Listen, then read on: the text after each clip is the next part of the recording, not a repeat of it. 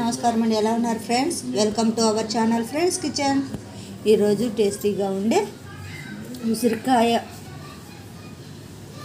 ఊరగాయ అండి. పికల్. సింపుల్గా ఈజీగా తయారు చేసుకోవచ్చండి. ఎవరైనా వంట రాని వాళ్ళు కూడా ఈజీగా చేయొచ్చు. కావాల్సిన పదార్థాలు తయారయ్యే విధానం చూసేద్దామా? చిన్న కడాయి పెట్టుకుందామండి. అందులో చింతపండు ఒక కేజీకి కాల్ కేజీలో సగం వేసుకున్నానండి. కాల్ కేజీల సగము నానబెట్టి గుజ్జు తీసుకున్నాను చిక్కగా. దీన్ని కడాయిలో వేసి బాగా ఉడికించుకుందామండి. వాటర్ అంతా ఇమిరిపోవాలి కదండి? బాగా దగ్గరగా వచ్చి గుజ్జుగా రావాలా. దీన్ని ఉడికించుకుందాం. ఒక పది నిమిషం చూడండి. అదో బబుల్స్ వస్తున్నాయి కదండి. ఇప్పుడు ఇంకొక పక్కకు పెట్టేసేసి ఇప్పుడు ఉసిరికాయలు వేయించుకుందామండి. చూడండి. ఇంకొక కడాయిలో ఆయిల్ వేసుకున్నానండి. నేను పల్లీల నూనె తీసుకున్నాను.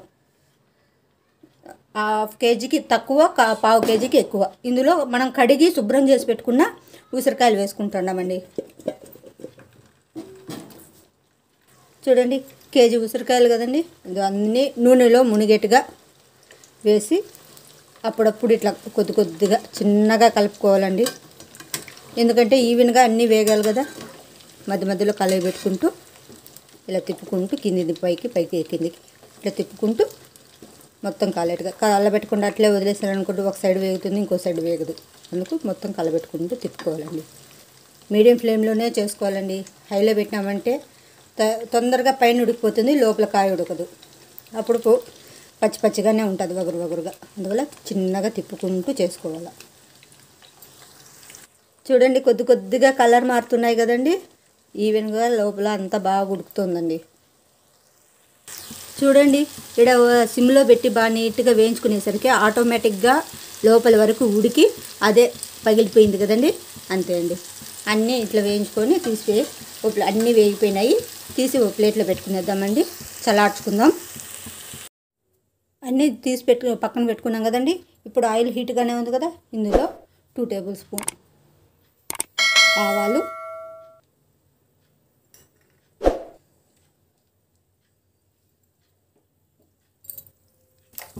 చూడండి ఆవాలు చిట్పట్లాడుతున్నాయి కదండి. ఇప్పుడు ఒక మూడు ఎండుమిర్చి వన్ ఫిఫ్టీ గ్రామ్స్ తీసుకున్నానండి. వెల్లుల్లిపాయలు బాగా పొట్టు తీసి ఊరికే కొద్దిగా కచ్చాపచ్చగా దంచి పెట్టుకున్నాను. ఇలా అయితే బాగుంటుంది. కొంతమంది ఇష్టపడరు కదండి వెల్లుల్లిపాయలు. అందువల్ల ఫిఫ్టీ గ్రామ్సే తీసుకోవచ్చు. లేదు ఇష్టపడే వాళ్ళు కొంచెం నేను మాకు ఇష్టంగా తింటాం కాబట్టి వన్ ఫిఫ్టీ గ్రామ్స్ తీసుకుని నిల్వ వేసుకున్నాను లేదంటే అవాయిడ్ చేసేయచ్చు. వద్దనుకునే వాళ్ళు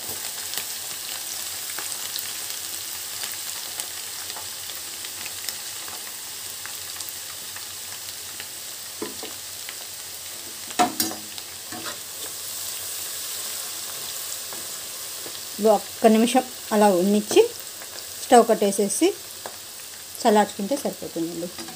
ఆ ఆయిల్ వేడికే ఇది మొత్తం బాగా కలర్ వచ్చేసింది వెల్లుల్లిపాయ అంతా.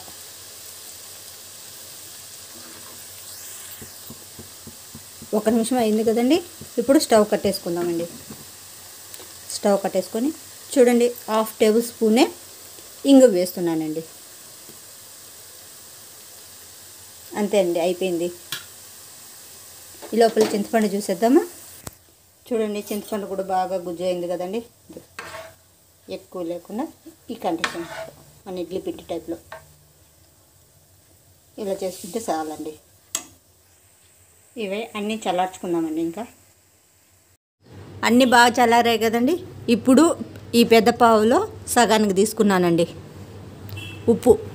రాళ్ళ ఉప్పును కాస్త వేడి ఎండకులో పెట్టి పౌడర్ చేసుకున్నానండి. సాల్ట్ లాగా. దీన్ని వేసేస్తున్నా. కారం చూడండి. ముందు మనం వేసాం కదండి సాల్ట్ ఉప్పు.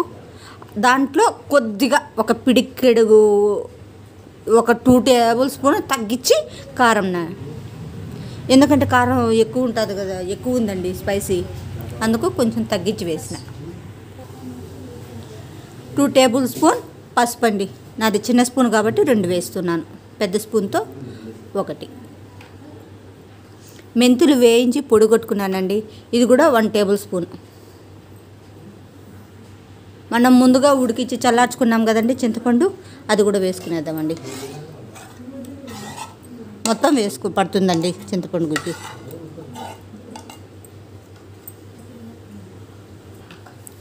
ఇప్పుడు అన్నీ వేసుకున్నాం కదండి ఇప్పుడు దీన్ని బాగా మిక్స్ చేసుకుందామండి ఆయిల్లో కలిపేసేలాగా. చూడండి బాగా మిక్స్ చేస్తున్నాం కదండి. ఇప్పుడు మనం ముందుగా వేయించి పెట్టుకున్న ఉసిరికాయలండి. అన్నీ వేసుకునేద్దాం. ఒక కేజీ.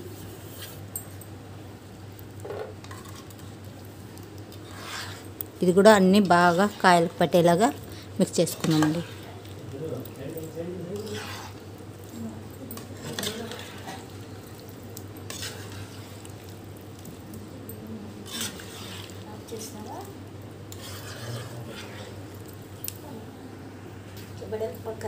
చూడండి అంత బాగా మిక్స్ చేసేసినాం కదండి.